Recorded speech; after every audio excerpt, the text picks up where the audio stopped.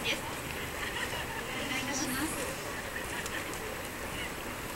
今回の作品どんなところに注目しているでしょうかまあ男の子が成長する話を先生が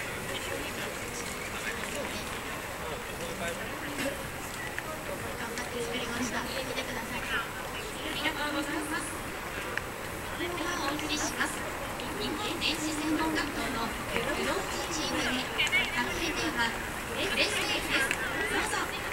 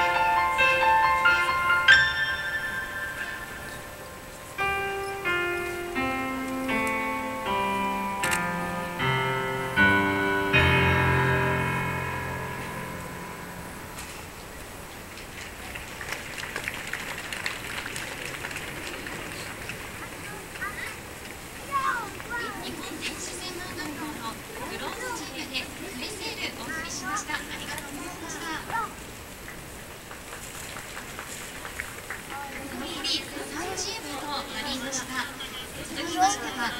東京芸術大学大学院の今津義子の佐々木犬チームです